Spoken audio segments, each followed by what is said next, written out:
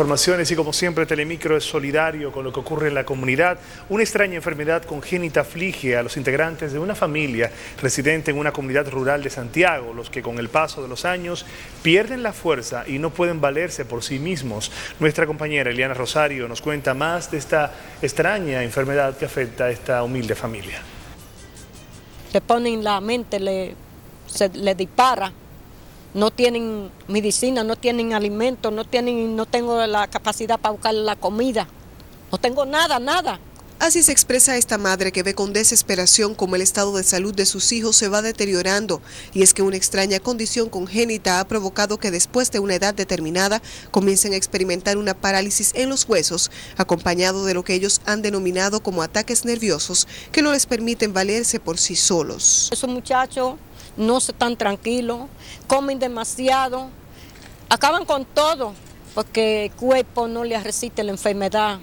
Ellos mismos relatan que toda su juventud fueron personas trabajadoras y laboriosas de la comunidad de los montones abajo y que luego de que cumplieron la mayoría de edad comenzaron a perder la fuerza de las extremidades al punto de que sus manos no le permiten sostener ningún objeto. Los nervios que no me dejan tranquila. Día noche, día, pues, no puedo dormir.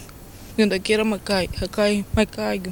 Estos jóvenes y su madre manifiestan que su mayor anhelo es ser tratados por un médico que pueda determinar su padecimiento y con alguna ayuda poder iniciar un tratamiento. No, porque yo te voy a decir, eso es de los huesos. Yo no tengo ánimo ni nada. Yo no puedo trabajar ni nada. Después que esa vaina empezó, me estaba hablando la gente me bien.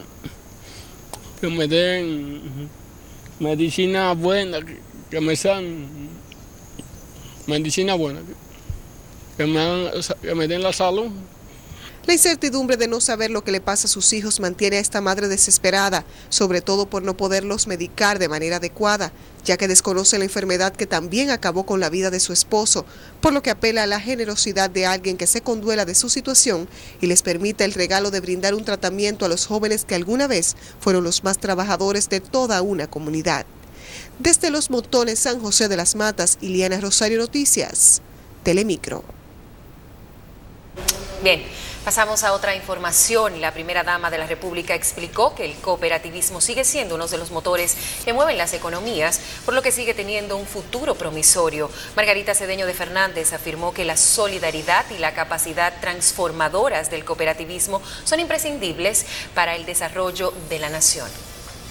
Realmente el cooperativismo eh, sigue siendo una tendencia con mucho futuro Qué bueno que hemos creído en, este proyecto, qué bueno que hemos creído en, en la filosofía del cooperativismo y unido a la pequeña y mediana empresa Doctora Margarita Cedeño.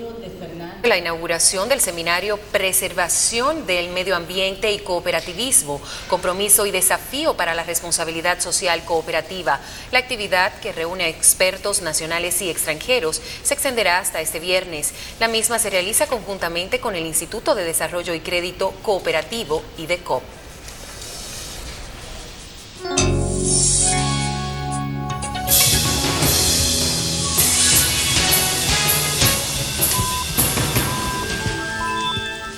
Bien, estamos listos para recibir un resumen que nos ha preparado nuestra compañera Maribel Reyes de Salud. Siempre, Como siempre, con interesantes informaciones. Así es. Buenas noches. Gracias y buenas noches. Hoy vamos a hablar cómo eliminar los callos tanto de la mano como de los pies para disfrutar mejor el fin de semana. Se llama callo a una capa de la piel endurecida y engrosada que se forma por la excesiva presión o fricción. Generalmente se forman en los pies, pero puede surgir en cualquier parte del cuerpo que se vea sometida a un roce exagerado. Los callos pueden ser inofensivos al comienzo, pero a medida que se van haciendo más grandes y gruesos, producen molestias y dolor, a tal punto que el solo hecho de calzarse es un sufrimiento. Los callos pueden ser muy molestos, pero lo primero es identificar la causa y suprimirla. Puede ser un movimiento que se ve alterado por problemas de postura, calzado inadecuado, por no usar calcetines o por problemas de deformación de los huesos. Los callos pueden impedir llevar una vida normal y hasta llegar a ser una dificultad para cosas tan cotidianas como caminar o sentarse.